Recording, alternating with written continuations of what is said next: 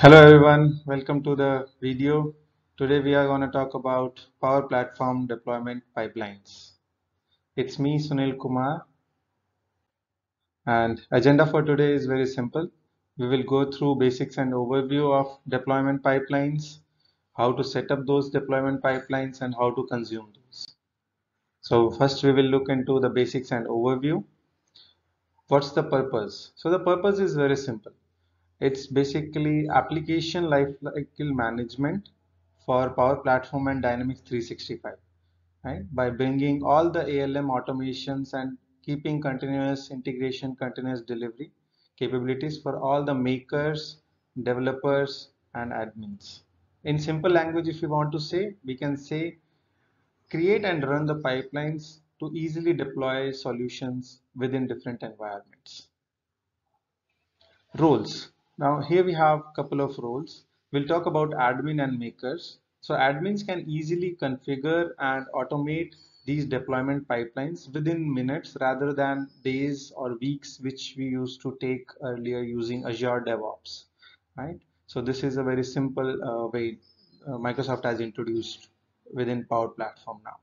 Makers will have always an intuitive user experience for easily deploying their solutions within environments. Next, uh, we will look into the common setup. So the common setup looks like uh, we have four uh, different environments. One will be the host environment. Then we will have deployment environment, QA, which is known as test environment as well, and the production environment, right? So the major difference between host and the rest of the environment is that the other environments other three environments has to be the managed environments right? And when we talk about the licensing end users with any production environment linked to pipelines will require a standalone uh, license for either power apps power automate or dynamics 365 makers generally don't uh, require a license unless they are also an end user we will look into prerequisites now. So a couple of prerequisites which we have are definitely four environments are recommended. Out of those three are mandatory and one QA environment which is an optional one. All environments used in pipelines must have Microsoft Dataverse as a database right? Power Platform administrator or Dataverse system administrator role would be required for setting up those deployment pipelines then deployment and target environments used in pipeline must be enabled as managed environments. So here the de development environment and the target environments are our test environment and the production environment. So all has to have managed environment uh, enablement. Then uh, Microsoft Dataverse for Teams specifically uh, those kind of environments are not supported for the use with pipelines as of now. Now let's look how the pipeline environments are connected to each other. Host environment which is a required one is a kind of a special uh, purpose environments which acts as a storage and a management plane for all the pipeline configurations, securities, run history, and it's kind of a control center for all the deployment activities. Now the other environments are de development environment for developing the solutions. Then we have QA environment which is basically for testing prior to move the solutions to production environment. And then we have production environment where everything will go and sit for end users to consume. Now let's see uh, the how, how do we set up this then this is a one-time activity which admins has to do from their side. So installation of uh, pipeline application is the major step here. So first thing is the admins has to go through uh, go to power platform admin center. Within that power platform admin center once they go into different environments they will have to create a another um, pipeline host environment or uh, as we say the hosting environment so currently my pipeline my host environment's name is pipeline host right so within that we'll have to go through uh, go to dynamics 365 apps and within those there will be an option uh, for power platform pipelines So we have to install that. As soon as we install it, in that environment itself, we will see within apps, a new model driven app has should be created. The app name will be deployment pipeline configuration. So now once this is done, the pipeline will be configured, a pipeline will be installed. So now the configuration will be the next step. So that we will check now.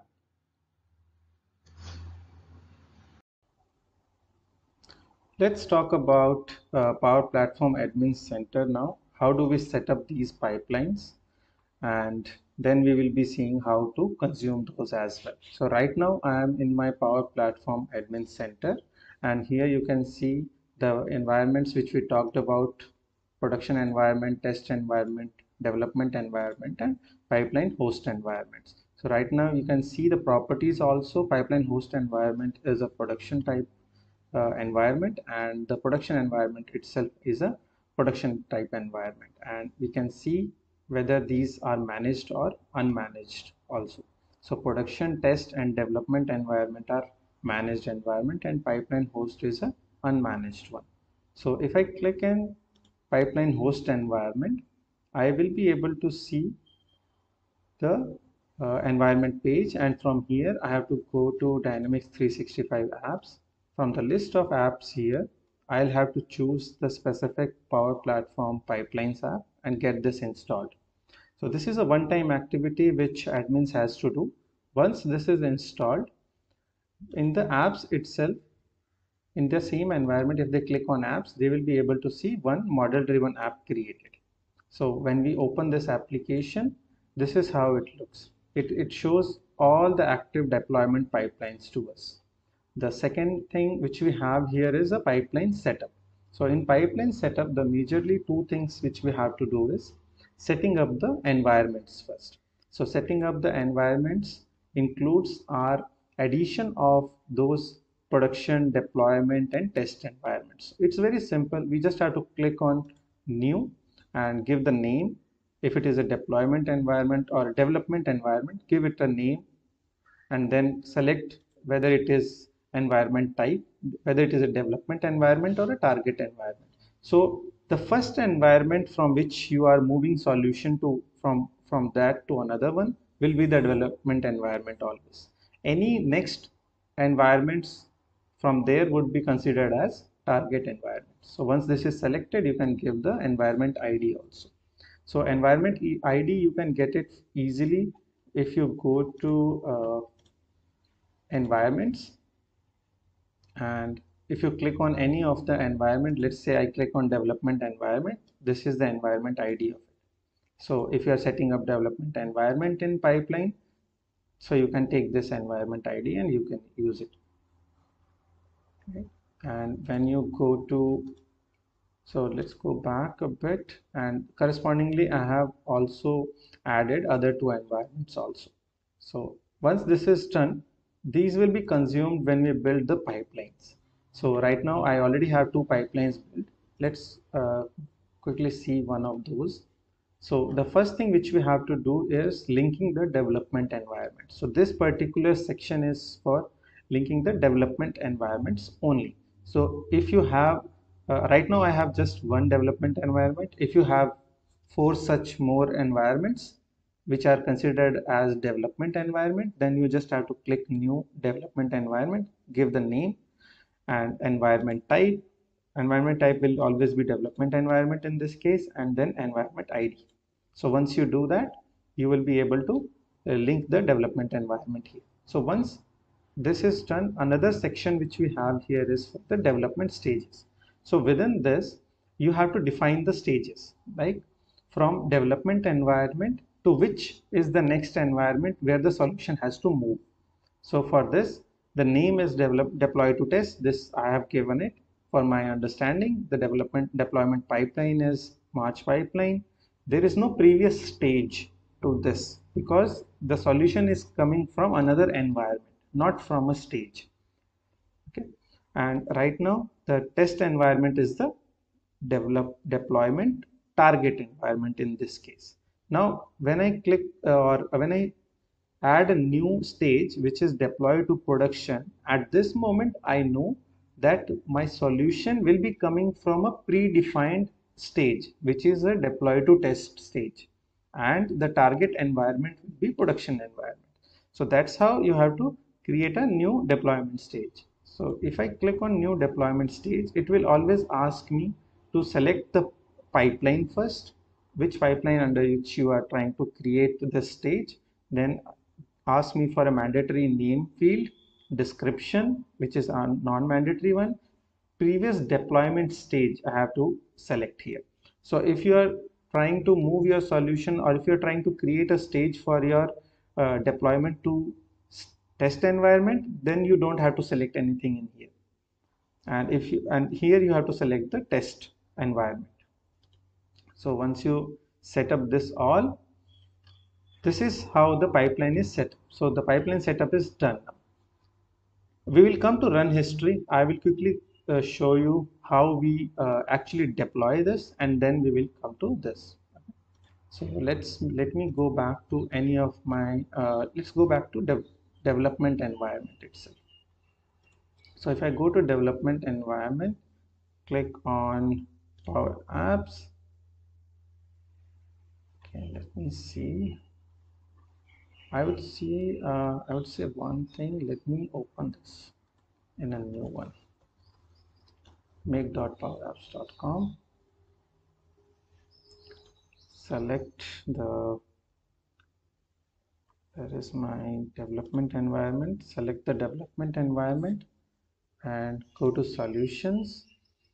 This is the solution which I have. So as soon as you enter into any solution you will see the pipeline uh, here. So if you click on pipeline you will be directed there. So let me do one thing. I will quickly head over to making any change right now in the application. So this is a uh, unmanaged solution. That's why you are able to edit this one because you are right now in a development environment. I will go recent test. I will test 2 I will make a recent test 2 and save this or publish it. Once this is published I will go back to my solution and click on pipelines. So once I click on pipelines here I will be able to see all the pipelines which I have created or admins has created. So if I click on March pipeline I, I can see development environment it will move to test environment and then we can move it further to production environment. So right now I have to move this solution to test environment first. So that's why you are not uh, seeing this deploy here for production environment enabled right now. So first if I click on deploy here it will ask me to select. Once this is selected and it will start deploying it and the version is automatically created. The last version was 1.0.03 now it is 4 and if I click on deploy solution it will automatically start deploying it. Once it starts deploying it let's quickly move to deployment pipeline. And here we will talk about run history now. So as you see right now this is the run history which is started. And here you can see it is moving to deploy to test. This is the stage. This is the pipeline and this is the time it has been started on. Now you can see a couple of run histories which are already there. So these are the run histories uh, for my previous uh, deployments which I have uh, done. And let's go back here. It takes a couple of uh, minutes to do that from the from the previous runs we can always see that it takes around two or one minute as well. And let's keep refresh. So uh, here we can see that it took around one minute to publish this into the test environments. And if we go back to pipelines and here I can see that this one is activated now. And this one is activated. Let me go to this test environment. So if I go to test environment and solutions this is the March solution which I have. And here this is an unmanaged solution so you won't be able to directly uh, start editing. Here and that's how it's supposed to be also.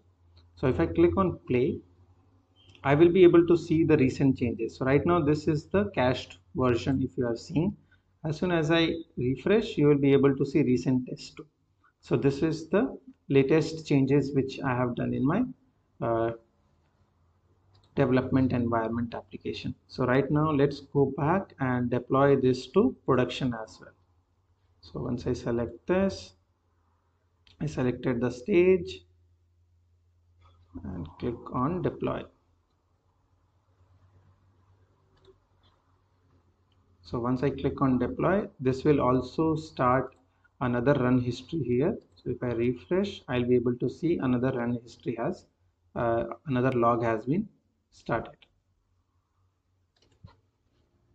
So this one also took uh, one minute to deploy. Let's go to our pipeline page. Click on go to this environment.